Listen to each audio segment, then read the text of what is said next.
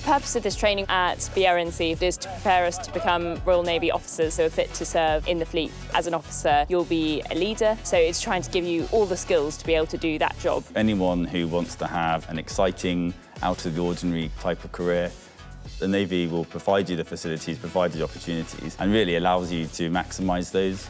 I wanted to join the Navy since I was a kid, have a long-term career that was going to fill everything that I wanted to do. I wanted to do something that was challenging. I always knew that like a nine to five just wasn't for me.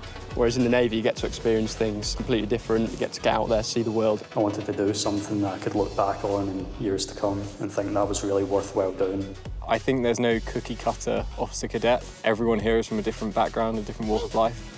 Prior to joining the Navy, I was a doctor and I was working in the NHS. I worked for a year in the civil service. It didn't quite scratch the itch. Before I joined, I was a waitress. I was actually a waiter as well. I joined the Navy because um, I want to be the best pilot. I want to be able to travel while I'm doing my job, and the Navy gives that opportunity to broaden your horizons. I work as a doctor, but I came to the UK when I was a child as a refugee with my family. It's just an honour to be able to look after the men and women that take care of this country.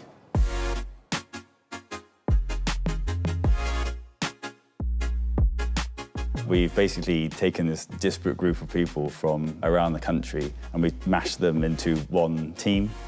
The first term is very much looking at militarising. We've made them think and act a little bit like people in the armed forces. We've introduced them to how military leadership is conducted in the Navy. Sort of the key parts of phase one training, we've done a week of IMF, which is initial military fitness, so getting in the gym with the PTIs, rope climbing, press-ups, all that good stuff.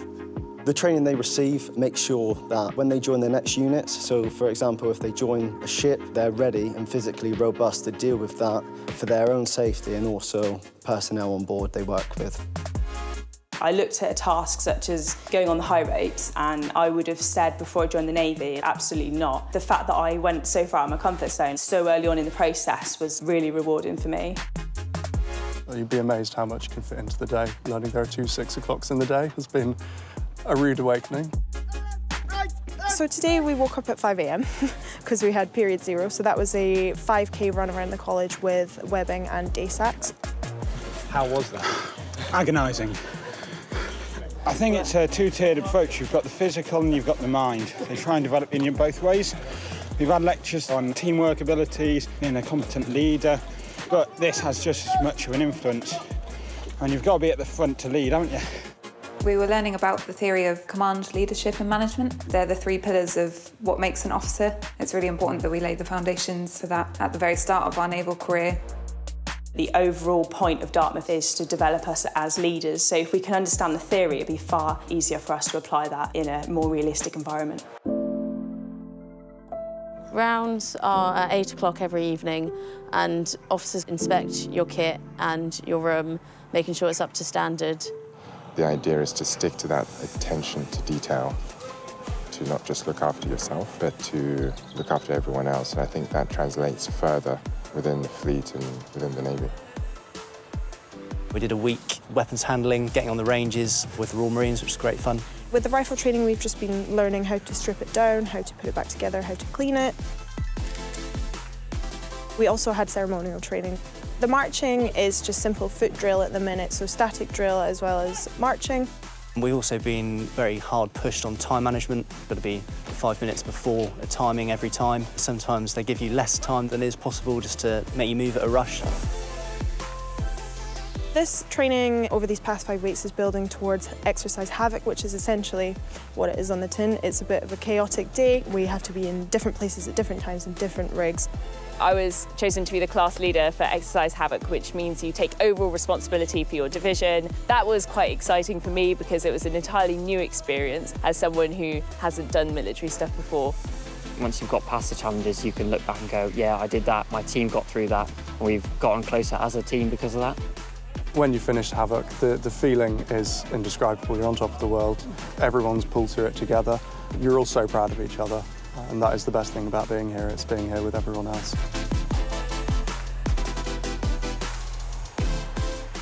Mainly I'm looking forward to exercise ABLE, which is an exercise out in Dartmoor. And I think it'll be a good opportunity to put to the test everything we've been taught so far. It's one of those exercises that everyone kind of has a little bit of fear about. It's going off to Dartmoor, it's going into the unknown, it's being in an environment which you're not necessarily used to. You don't get very much sleep, a lot is expected of you, and also the weather on Dartmoor is never ever good. The most proud moment for me was finishing our assessed basic leadership exercise. Finding out that I'd passed that was a huge weight off my shoulders.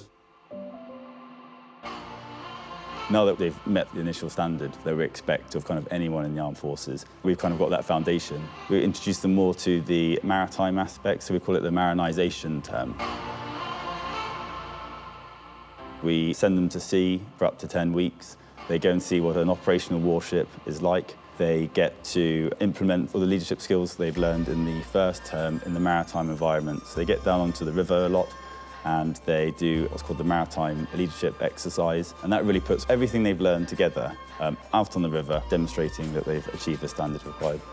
Down on the river, we get taught to drive boats and do seamanship, so sort of our knot tying and the theoretical side of, of what happens on a ship. It's not just all PowerPoints and lectures.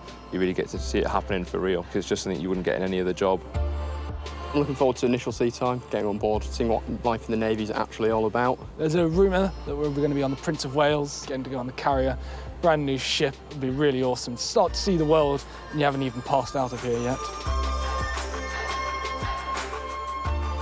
MARL is a four, five day assessment, takes place mainly down here on the River Dart, but also up and around the college grounds, in which we get put through a series of practical leadership tasks over two hours involving small teams of up to about a dozen multiple boats of different sizes. Putting all the work I've spent over the last 26, 27 weeks, finally actually being able to display that on a maritime environment, has been really satisfying. I'm most proud of passing out of the college.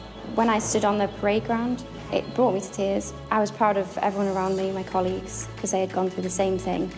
It's a really proud moment to stand in front of this lovely building with all the memories and the friends I'd made here and thinking ahead of what was coming. My aspirations for my career in the Royal Navy are to get to see as much as possible, really, travel the world, and then eventually command my own warship is the plan. I've joined up as a warfare officer. I'm intending to go submariner, so I'm looking towards becoming a navigator on board submarines. I hope to join the submarine service as a weapon engineer officer. Actually training on the helicopters I'll be going out to the front line on. I mean, it's a couple of years down the line for me, but that moment will be pretty special. I've had so much fun in the past weeks just because of the people. I think the people in the Navy are the best in the world and you don't find them anywhere else. Cohesion as a division, and especially in our room as well, is very high. Well, it's dead difficult not to get on when we're literally living on top of each other. For me, it's the mates. You know, we've been yeah. here four or five weeks. The friendships you build within that time, it's, it's crazy. The quote we use quite often is, you've got to laugh because otherwise you'd be crying. And that is just so true. There's a lot of times where you just got to battle through it and just have a laugh and tell each other jokes. We're not here for like an easy rides and stuff and we want to do something special. I mean, I, I know I definitely want to be proud of what I eventually do. And I feel like that's what we're all here for.